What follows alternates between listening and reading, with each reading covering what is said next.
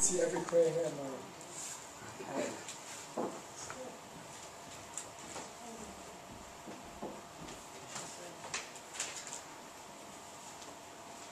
Okay, so.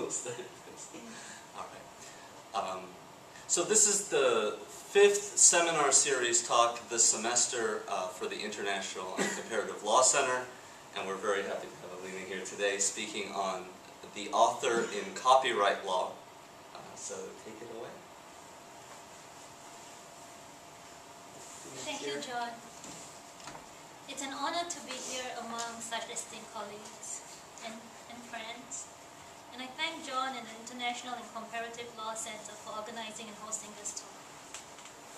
My talk, The Author in Copyright Law, explores various conceptions of the author throughout copyright history and the influences of these different conceptions on the production and distribution of literary works.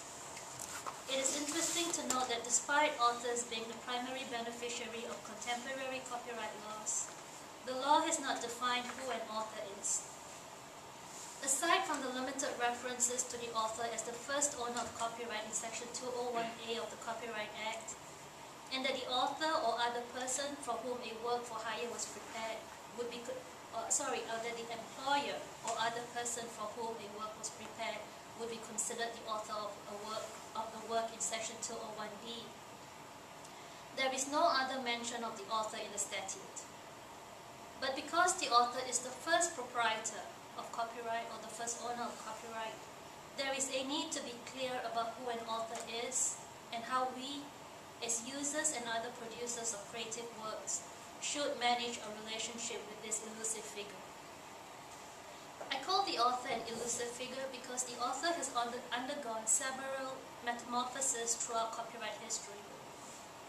Copyright laws, as we know, began as a modest set of ordinances that enabled members of a book publishing guild in England, called the Stationers' Company, to publish books. Established by Royal Charter in 1557, the company acted as the official government censor and used the government's interest in press censorship to assert power over the book trade.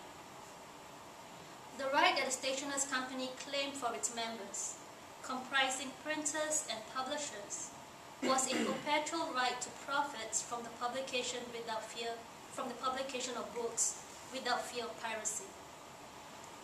Authors were barred from membership of the company, although from time to time the company granted copyright to authors.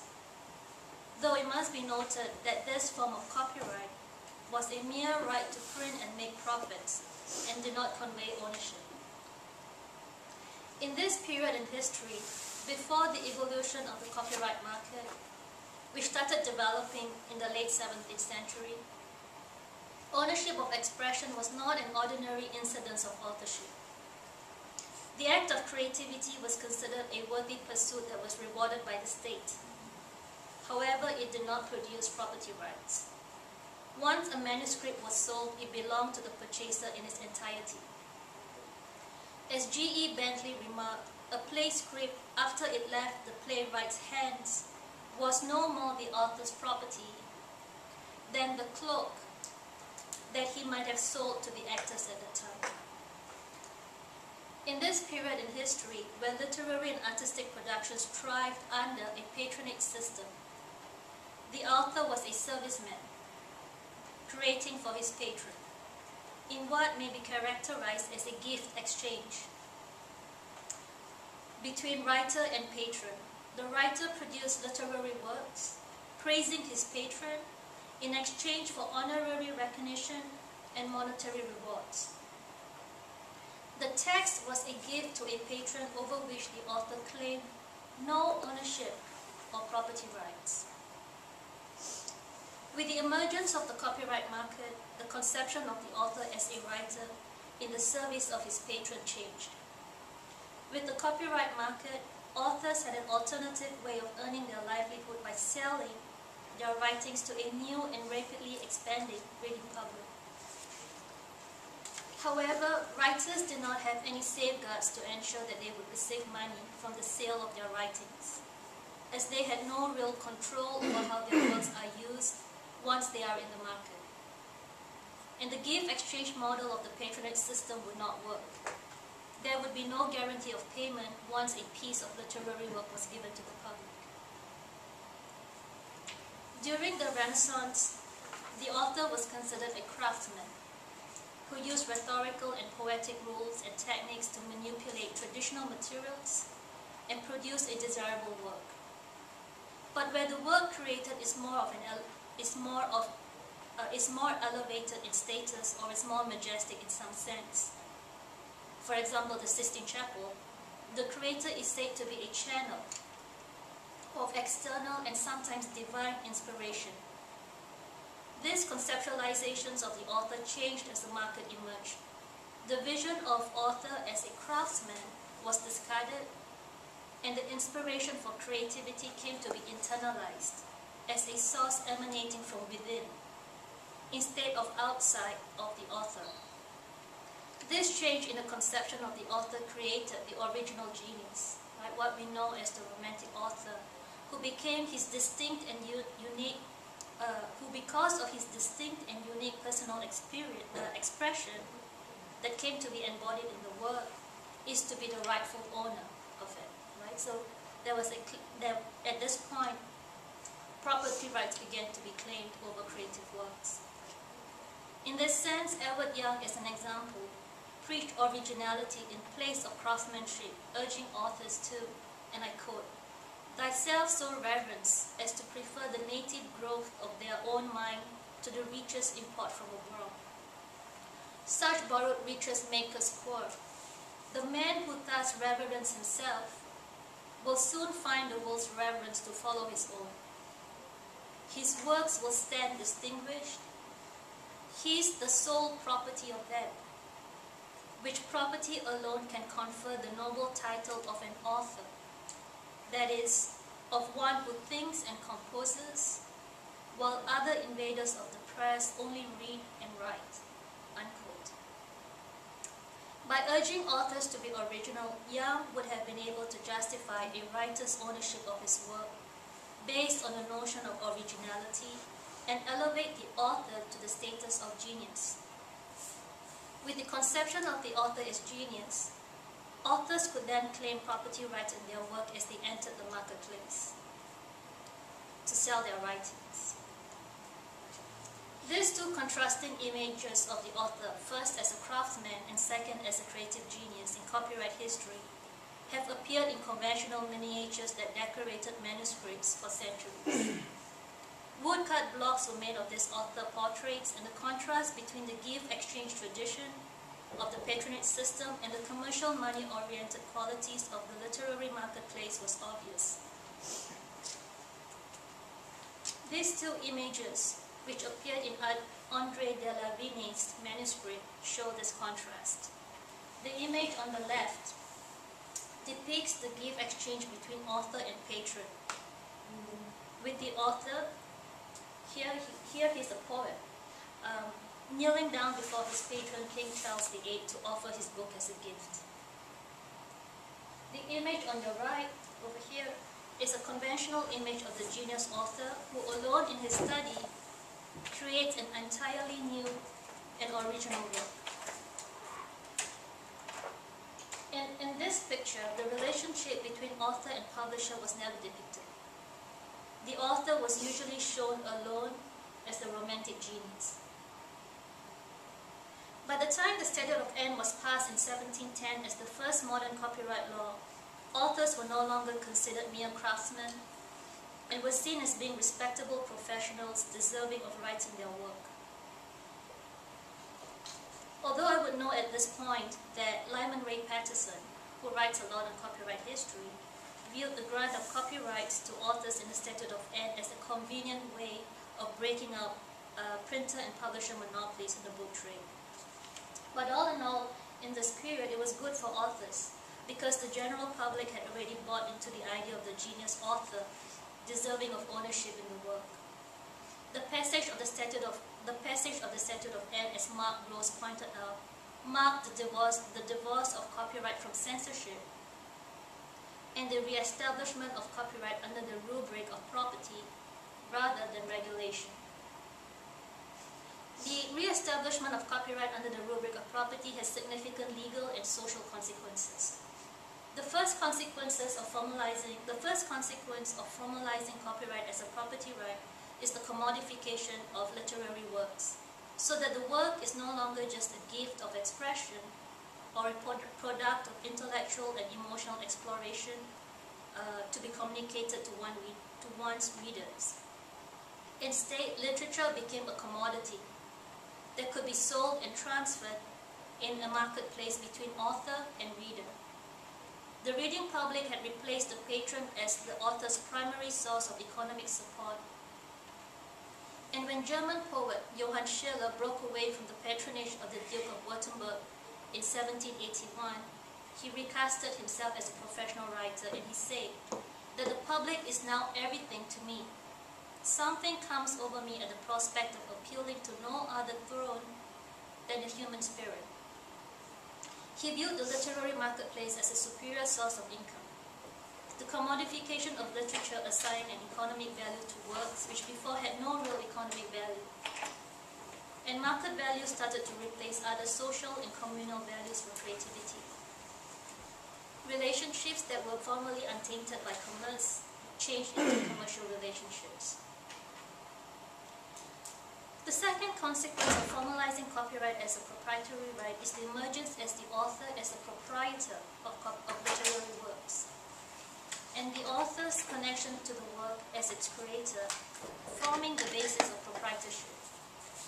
As the author is the origin of the work, he is the rightful owner, entitled to first publish the work and make its first sale, if, if that's his choice. The Supreme Court acknowledged in Burrow-Giles and Sarony that when a work embodied the intellectual conception of an author, it is original and thus entitled its author to its exclusive use or sale. The legal threshold for originality is low.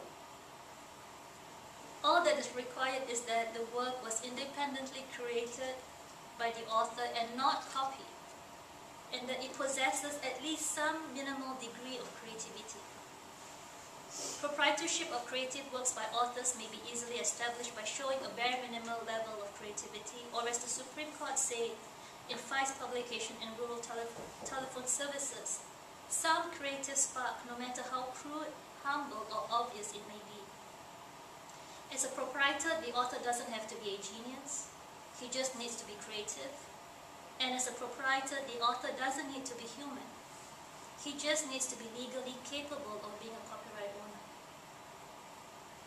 With public and legal acceptance of the notion of originality as the basis for exclusive rights, the concept of the author as proprietor became a very powerful metaphor to justify exclusive use of literary works. The argument for exclusive use is inherently utilitarian in that exclusive rights and monopolies are tolerated for ultimately uh, the public welfare. Temporary costs from protecting an author's proprietary rights are morally justified because of the results they produce, which is greater production of creative works that ultimately serves to benefit society and advance knowledge. And because the goal of copyright, uh, copyright, uh, the goal of the copyright system is to advance public welfare through the talents of authors. The notion of the, the, the notion that the author would be the proprietor of his expression offers an attractive incentive for authors to harness and direct their talents towards creative activity. That in the eyes of the law, further public welfare. So throughout copyright history, as I, as I laid it out, we have three different conceptions of the author. First, as a serviceman or a servant, service of the operator as the romantic genius who should have property rights in, in, in their work and as the modern day proprietor. But if we were to ask any copyright scholar who an author is, I doubt we would get any satisfactory answer and know for certain who really is an, answer, uh, an author. Literary critics, particularly Michel Foucault and Roland Barthes, have argued that the conception of the author is socially contingent on the commodification of literature. Both have in fact gone as far as to say that the author in his relationship with his expression is non-existent. the author in loose phraseology is they, as Barthes say, in that text stand alone and should be studied independently of its author's identity and personal attributes. Paul Griffith, uh, who is also who writes on on um, intellectual creativity, uh, but but writes it from a theological uh, viewpoint, um, argued that creativity, the basis for which proprietorship is awarded in copyright, is actually a divine attribute that human human beings are incapable of. To Griffiths, only God creates. Humans collaborate with the divine creativity which as Griffiths say in his book Intellectual Appetite, cannot effectively be sequestered and as a result cannot be owned. Another way of saying this is that no one is entirely original in their expression. That the very act of authorship in any medium is, as Jessica Litman says in her article, The Public Domain, I quote, more akin to translation and recombination than it is to creating Aphrodite from the foam of the sea. The courts have also made it more difficult to conceptualize who an author is. In 56 Hope Road Music and UMG recordings, the court held that a recording company was the author of Bob Marley's sound recording, despite the fact that Marley was the actual human creator. Because in the eyes of the law, the hiring party is considered the author of works made for hire, not the human producer of the work.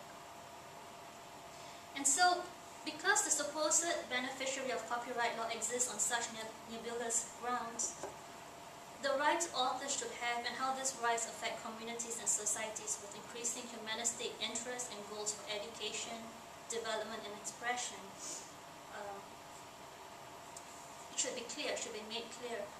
The nature of rights in creative works is a perennial one, and to a large degree, this will depend on how we conceptualize the author figure. Lyman Ray Patterson had said in his book, Copyright in Historical Perspective, that copyright law is difficult, complex, and as a whole unsatisfactory because of the absence of fundamental principles that would unify the concept of copyright. Here I offer a plausible conceptualization of the author which hopefully may produce greater clarity and certainty in copyright law. The author I propose would be an individual who finds human dignity through authentic expressions and who creates for the sake of creativity because creativity in itself is a desirable human activity. The author as a human person expressing himself for the sake of expression differs from the serviceman, the genius, and the proprietor in several ways. First, the author is different from the serviceman because he writes for the sake of expression or communication and not for a patron.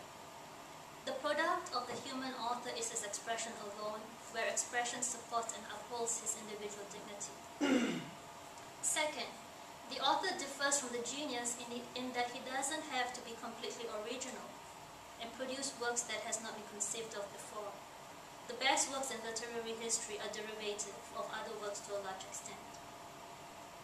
And third, the author, the human author differs from the proprietor of copyright in that he is a human being or as Robert George puts it, a being with a human nature, who possesses as a matter of natural law and natural rights an inherent value and dignity. He is not a legal author as copyright, has, copyright law has deemed non-human entities, but a natural author as commonly understood.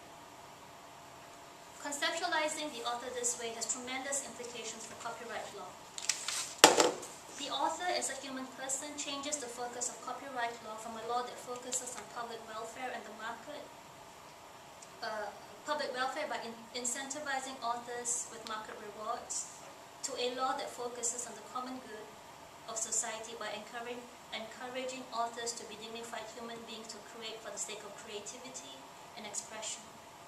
By shifting its focus to the common good, copyright law would protect human flourishing instead of public welfare identify with the notion of authentic authorship instead of romantic authorship, and would impose moral duties of stewardship as legal rights are granted to allow for some market rewards.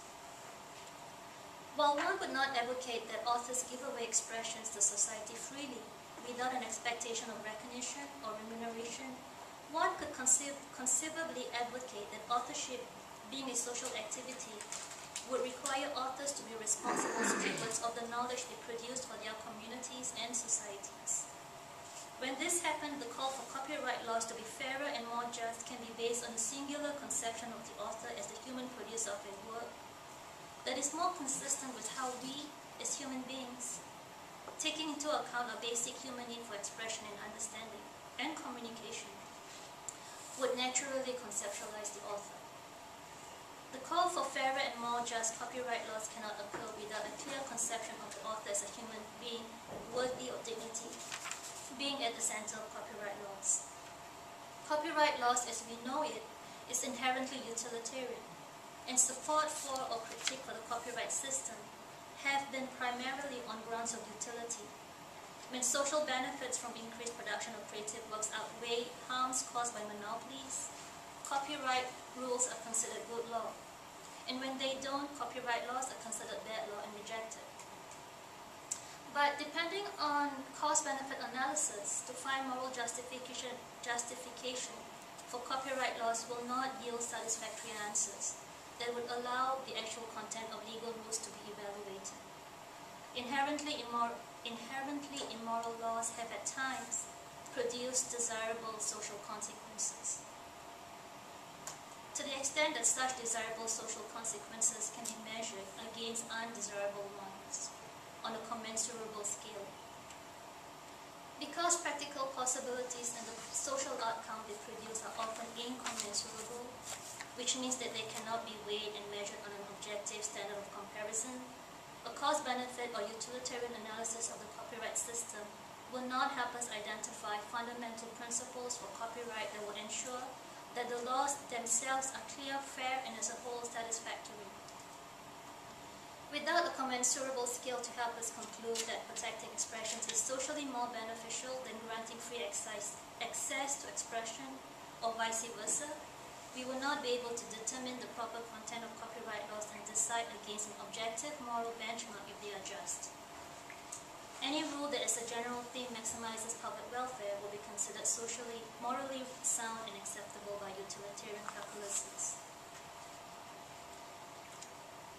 However, with a clear conception of the author as a human person deserving of protection um, of his human dignity, um, uh, as the, in the, uh, being the cornerstone of copyright jurisprudence, we can expect a moral benchmark to be set against which one would be able to assess the fairness and morality of copyright principles. A clear conception of the human author would introduce moral reason into the copyright system as a basic good for creativity.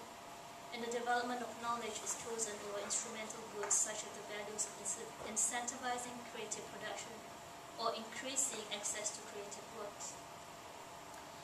Use of, the, use of other works in the process of creating another piece of work would be considered ex ante fair use as long as the use is within reasonable constraints that respect the dignity of past human creators. And corporations and other non-human organizations would not be able to claim themselves as hmm. authors entitled to control users of their works in the absence of a recognizable right that stems from possessing human dignity. Authorship as an essentially human activity is based on communal and social cooperation and conjures up moral duties and legal rights among those participating in the process. In conclusion, I just want to talk, uh, highlight this book, Morals by Agreement by David Gauthier, in which he argues that morality would work as the necessary constraint on the interaction of rational processes and facilitate cooperative behavior when it is necessary and possible for the common good of society to build an ecology where human dignity is upheld and society thrives and flourishes through the use and production of creative works. Individuals and communities must commit and cooperate to protect the human good. And I would say in, in conclusion that this can only be done when the protection of the common good of society is seen as inextricably tied into the protection of the human author and human dignity. Thank you.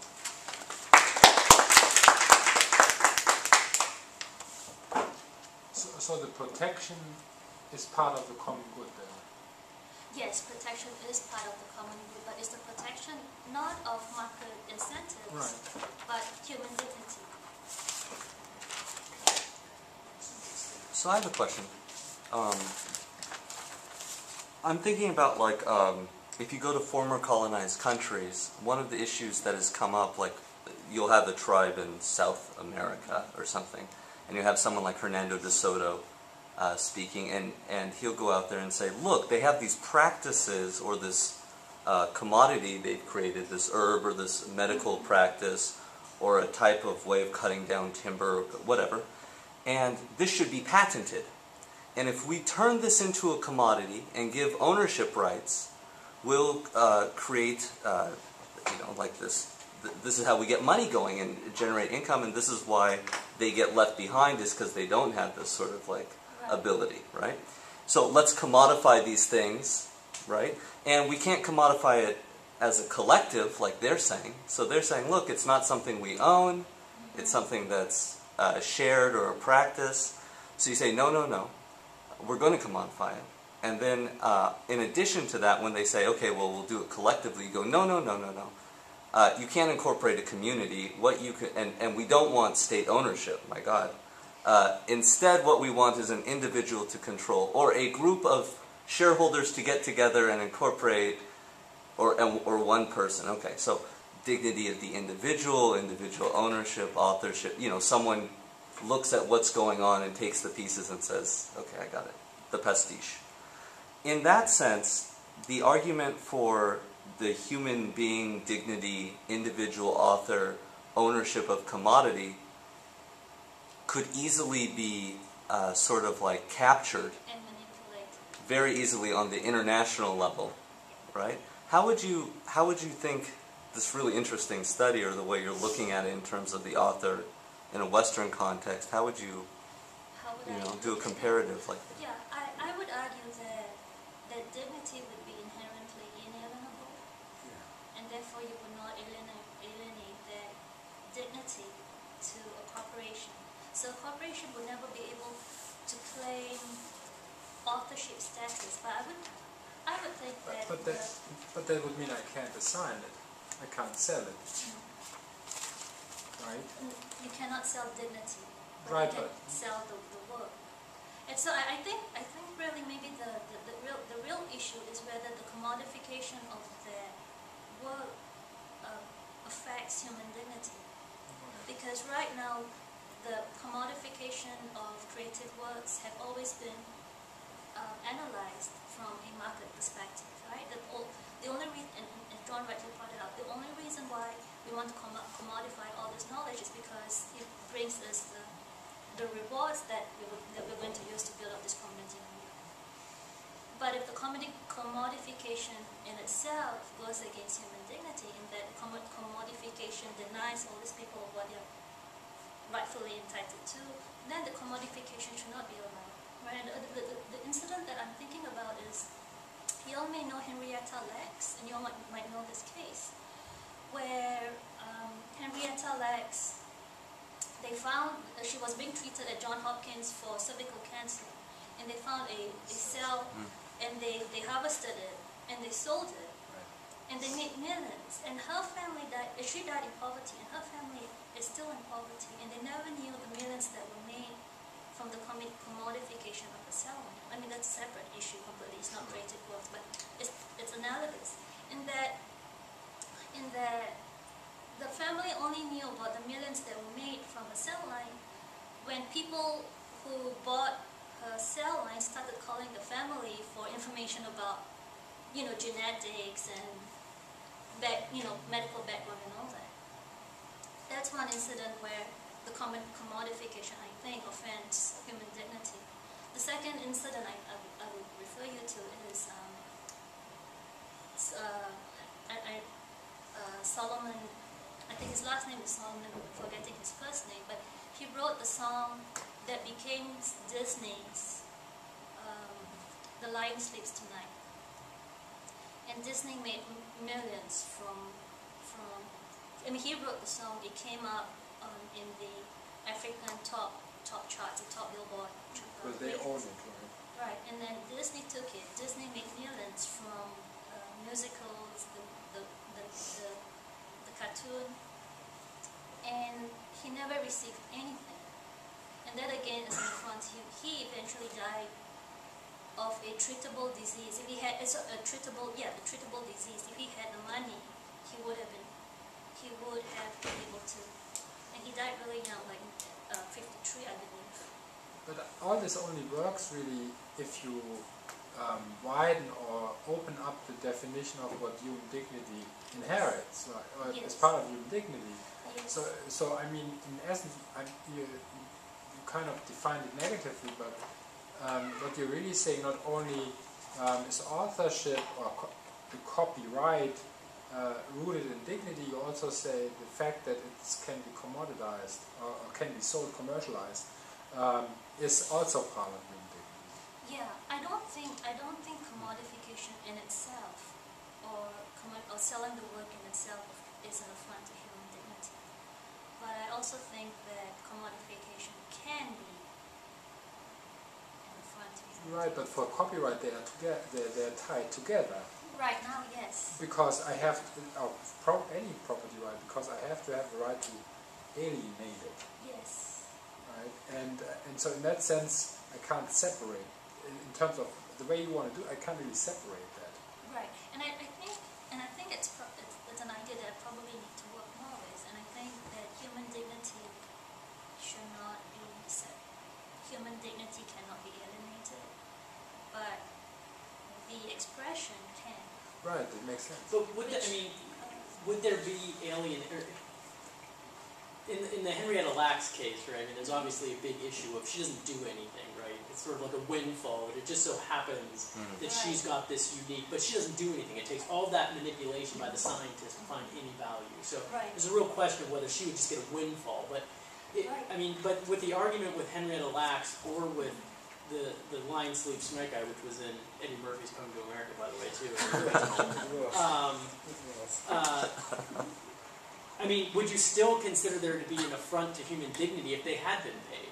So if Henrietta Lacks gets a hmm. million dollars, or hmm. if the guy in Africa gets a million dollars, is there still an affront to human dignity? And if not, doesn't the existing framework work? It sounds like had they copyrighted, right, or patented or gotten some protection, then there would have been the money there, and then, or you saying that money notwithstanding, there's an affront to human dignity in those two situations. I, So even if Henrietta Lacks got money, there would still be an affront to her dignity. Or this guy in Africa who wrote The Lion Sleeps Tonight. Even if he got paid and they weren't exploiting him or exploiting Henrietta Lacks. That's what I'm trying to yeah, and I, I don't think I'm, I'm, nece- I'm necessarily saying that the commodification in itself is an affront to human dignity, and therefore, if, if Henrietta Lacks or, or Solomon gets paid, it, it would, it, it would, it would not affront human dignity. But, but, the question really is then what, what J- Jonathan says, where does it start, where does it end? What, what satisfies the requirement of dignity? The windfall, a million dollars, or the two million dollars, what is it? Does she have to write off on it? Yeah, and, and I think the difficult, the, the reason why there is difficulty in conceptualizing human, human dignity is because we, we've tied in the, the notion of creative works to the ability to commercialize. And therefore, and, and therefore, You're trying to deconstruct that, I assume. yeah. You're trying to separate. Yeah, that, that, that, that we've gone too far into thinking that creative works are commodifiable, that we've lost sight No, of the, the, the dignity in expression. That it's only valuable because of the monetary nature, right? Right. It- It's valuable independently of its monetary aspects. Exactly, Right. right. But, but right, right now we've forgot, we've forgotten about the other part, and the only important thing is that we are able to, com- to commodify. but, but are you saying it only has value because or, uh, of the uh, of commerce or not? No, human dignity has inherent value. Right. So, so in, in context of those uh, older definitions, as a service component, it's it's it's it has value too to the to the community, Yes. right? Now, I mean, my, my perspective on on human dignity is that that commerce commerce is really part of dignity. So I actually, in a, in a sense, come a little bit from the other direction at this. I say, in order to define what human dignity is today, I have to say, participating in commerce in the market that has to be part of Yeah. dignity. And if I do that, then I can tie hmm the copyright to that. Right. Right. But what you do is you you you, you set the dignity as a whether it's a God-given right, a natural right. You set this, and then you Yes. tie uh, the copyright and the right to commercialize it to Right. that. Now, and, and I think that's such an interesting, interesting point that you raised, and and it's interesting because the the value that copyright represents, that means the ability to commercialize and all that, is really not a basic value, right? It's something uh, that that we that is instrumental towards a goal to make money, to encourage creativity, and all that. And the way the copyright system has justified commodification is well, if we if we grant property rights that will allow those works to be sold, then it will bring authors money and they will create some more for public welfare.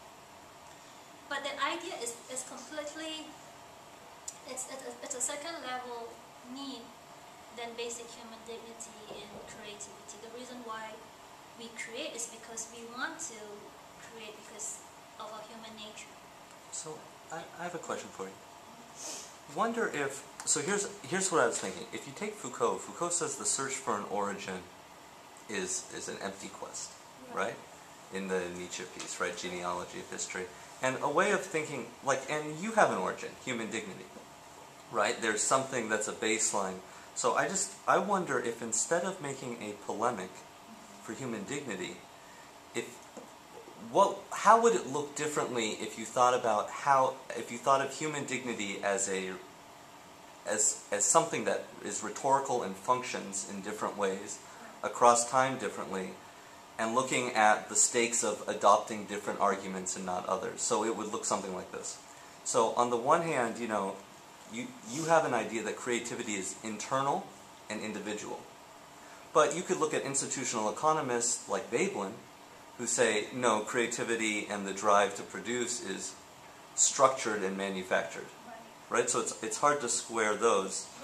Or you could say um, the, our ideas of human dignity were built out of the development of capital, where the idea of the individual author came, right? But but if it came out of that, how do we claim it was before? That's a typical. So I and it comes with a lot of secondary apparatuses.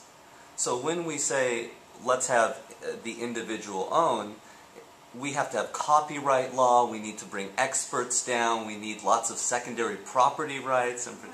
so we're implementing a whole political regime that may or may not give dignity, right? So if you go to the South American people in Peru, they're not really happy with getting the dignity of individual ownership. They And- want a different one. yeah, they right. They're so. My only the um, so my question, I guess, what I would be really interested in because I love this, uh, it's amazing.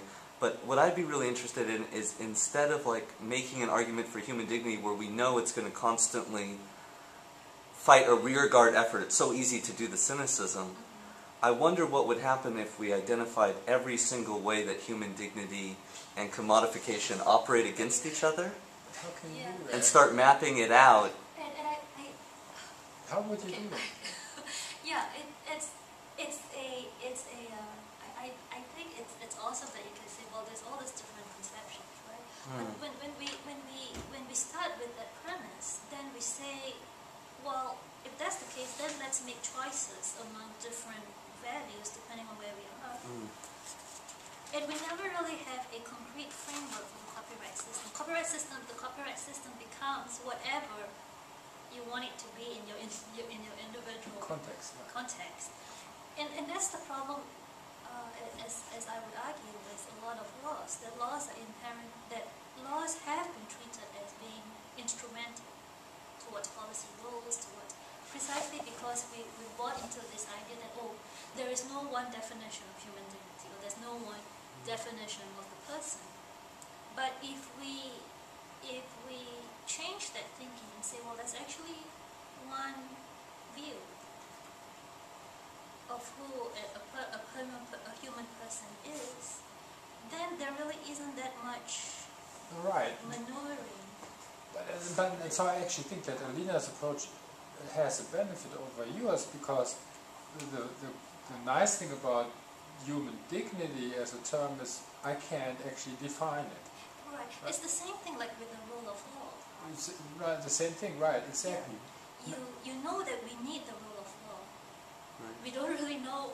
We know it looks kind of like like this, right? Right. Laws have to be certain, you know, and all that. But it doesn't change wherever you go. You know, everyone has an idea of what the rule of law is. So I think that's interesting. The idea that uh, the promise of law is its formal emptiness, its universality, in that it provides a framework by which politics will take place and sets. But don't, don't define it negative, emptiness, just say, Well, it inherently allows Broad. everyone to participate. Right. So we, because we can't limit human rights to one person, I'm human, you're Right. human.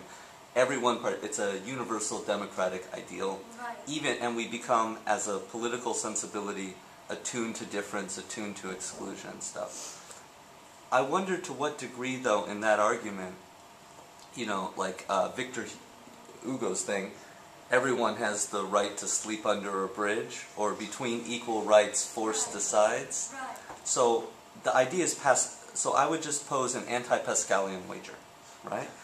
Pascal said, "Look, believe because if you don't believe, like as long as you believe even if it's not true, you make it, right? You're fine." But what Pascal doesn't take into account is the lost opportunity cost of believing versus doing something else. So, what are the possible lost opportunity costs of not believing and acting on not belief in this life? It's right, like that's not there. So I wonder if, if I pose that at human dignity, and I'm not making an argument, I'm just thinking. If I said back, well, when we adopt the idea of human dignity, even if it's a, a broad thing, there's still lots of exclusions in the human dignity liberal democratic model, right? And it seems very particular to a certain period of time, right? Uh, so I just wonder what are the what would be possibly the lost opportunity costs when we adopt that model rather than trying to do something totally different. But, but, but, but before you end, if you say lost opportunity costs, you already fix it. What do you mean? You, the, the, the definition of dignity now, you, you try to nail it down, and so, so it's no longer floating, it's no longer flexible. Mm. And how do you define, where do you start with what the transaction costs are? Right, I see what you're saying. So what I mean by that is dignity, when you invoke dignity in a, a legal setting or in a political setting, it's become a rhetorical tool that's highly routinized and predictable, and there's institutional apparatuses ready to deal with it in any given situation. So Palestine asserts human dignity, we kind of know where to go. And what that does is it shuts the door for a lot of political movements or expressions that would seek to escape their situation or do something radically different. It'd be seen as too out there, disrupting the dignity of someone else. Right. So if you, so I just wonder about if dignity is not a thing that exists somewhere in the ether or inside our core soul, but rather a way we describe how we do governance and how we understand meaning and how we organize people according to certain institutionalized practice and traditions of talking politics. Yeah. I wonder to what degree that would shift the, fo- and I don't know if it would. I'm not arguing against it. I wonder to what degree it would shift the focus. I think it would, and it's it's it's a position that I'm not entirely comfortable with. Mm. And the, the reason why I say I'm not comfortable is because when you put the human dignity and you make and you politicize it, then hum, human dignity loses the value for which it stands for, Mm. which is a basic good. So you've made you've made human dignity a value that you would balance against other values such as free speech and all that.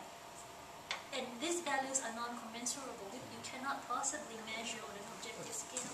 That's exactly right, and here's my argument to that, right? My argument to this is, and I've said this for, for many years now, is that, that you're just, in essence, really replacing the term natural law with human dignity. So human dignity is becoming the natural law of today. I Because I don't want to put a value on on net. I, I, can't really do that. And the same is with, with, with regard to dignity, uh, because um, whatever uh, John is trying to do, he's trying to fight over it, put value on it, and try to own. He's trying to own human dignity, and to exact what you said, to ta take the universality away from it. So you can't touch it really, yeah, and it has to be flexible. yeah because it's a basic it's a basic value that you have Right. to choose if it's in because Is it more a concept maybe than a value? Basic concept rather than a value? yeah I'm taking your value. yeah So I think here we get into trouble. If we say it's a concept, a formal ide- a deal, we get around the idea of it being uh, tra- transcendental, right? Yeah. But we get into the pr- we still get into the problem of being coming like a, can- a Kantian categorical imperative. He's coming. Right? He's coming our way now.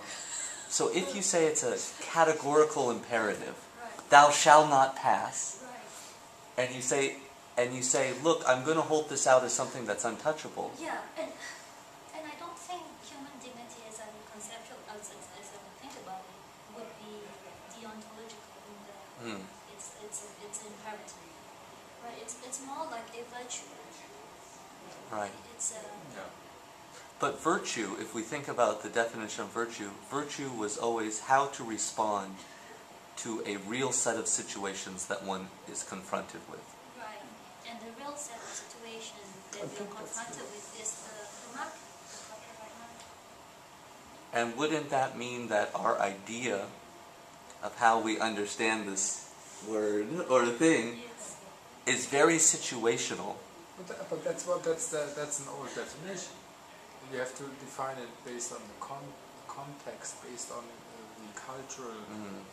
the cultural imperative of the time. And it stands beyond the cultural imperative. Yeah, so but if I, can, went, but I yeah. can only do this uh, if you do what Alina says. yeah, If I leave the concept or the value uh, as a basic uh, transcendental uniform, Yeah. universal, not uniform, Yeah. universal. Um, among, around which political decisions Right. discussions function as opposed to used by them to feel what the law Wonder if we didn't focus on the word dignity, but we focused on the word human, right? So the idea of the human, No, you want to get. I'm not going to let you get. the, the same game, the same game, because the idea of dignity is rooted in the, this idea that there's a person and these people, across time, place, culture, have certain fundamental ways that they rights or acts that they believe or something like that. And that idea of the individual But is exactly but it's a patent human. Say what? It's a patent. Authorship is human, but what about a patent? Well, the very I think like going beyond saying that you and I are Patent Uh, on an uh, iPhone, look not in on the cell. in the order of things, right? By Foucault, Yes. he starts it off by saying, I was reading Borges. And in Borges, I started laughing, and that was the version of my book because I read about in China in the 13th century or something. There was uh, 26, uh, they classified everything in humanity, everything in the world, according to 26 classifications. And it was very strange classifications. This is a very Bart point, right? You don't talk about tall cats, you talk about fat cats. Well, why don't we associate tall with cat usually, right?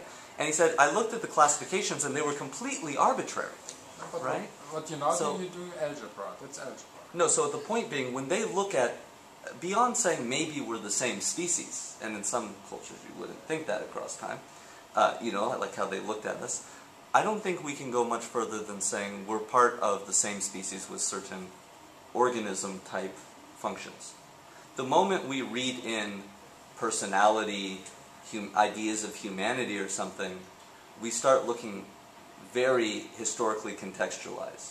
Right? So an understanding of someone 2,000 years ago or 3,000 years ago would probably have been so radically different we couldn't even speak to each other in many situations. But I, I don't think I don't think human dig- dignity is historically contingent or socially contingent. Right. I think human dignity, like if if you look at, regardless of, of time frame, if you look at at an activity that is an affront to human dignity, the Mm. immediate response is, well, that's that's wrong, regardless of time. You know, the the the the Inquisition. I mean, you would say, well, that is wrong. It's an affront. It is an affront to human dignity, even if within that context. You know, it was justified by, by whatever whatever Mm. reason, but we know that inherently, we know that. I mean- I mean, for me, the biggest challenge is in this term, dignity is, for, for me, dignity is a uh, definition from, from the bottom up, meaning it requires the bare minimum, right? And the, the question is, the, the question is what the bare minimum is. How can I define that bare minimum? And so, so I think I, I, I don't necessarily want to define it, but what the understanding of bare minimum is is different in the United States than it is in, in Africa in some countries. So I think that's the big diff that's the big difference. And so this is where I, I'm not sure how this would work. So, uh, you know, in a sense, it's a luxury for us to, to go and try to define uh, um, protection of uh, copyright in the way we thi- think. Uh, and in a sense, it's a luxury when compared to to the person in Africa who wants to write the song and sell it. Oh, they have a school? Uh, they have friends, okay. All right, we can talk Okay. talk later about that. Sorry.